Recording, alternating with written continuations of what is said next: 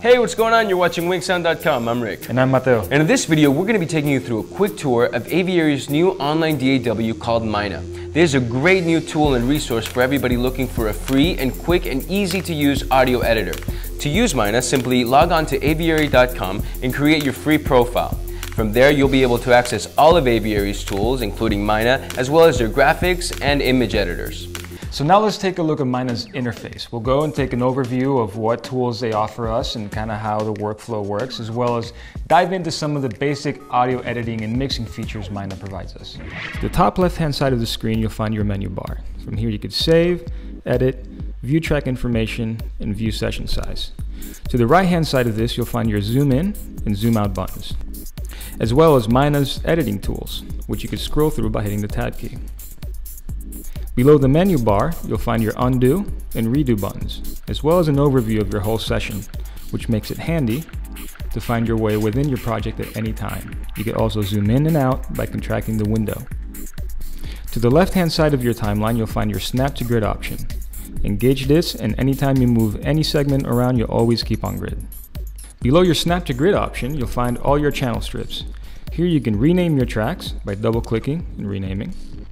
You could solo each instrument, mute, and access the automation information for each region. From here you could automate fades, your gain,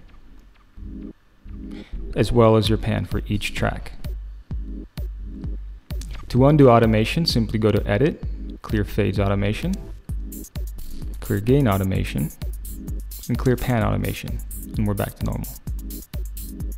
Below your channel strips, you can access your audio files by hitting the Imported button. Here you can find all the audio files which you've imported into your session.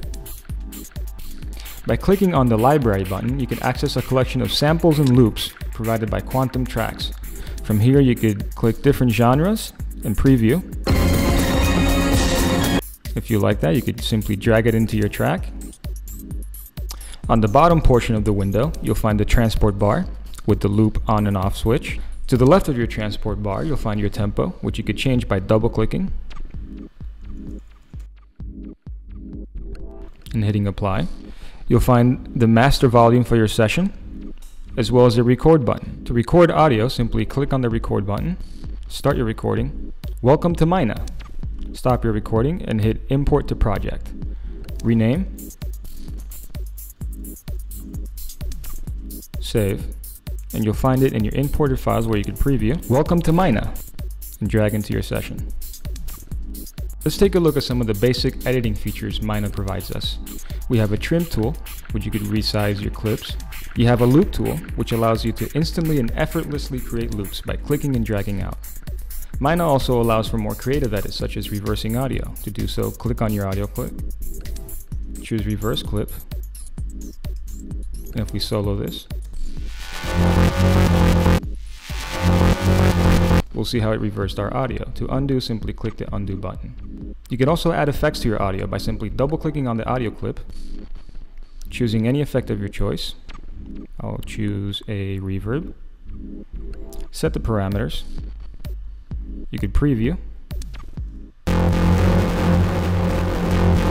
And apply the effect. So as you can see, Myna is a very simple tool to use. You could create your audio, you could mix, you could edit, you could export, and you could share all your music. Yeah, it's a really great tool. So to use it, simply log on to aviary.com and click on Myna. It's a great tool. If you have any further questions, you can always get in touch with a great support team. They'll help you out with any questions you might have. Or if you'd like to see a video done on any of the things that Myna provides, simply send us over the question, Rick or Mateo at winksound.com.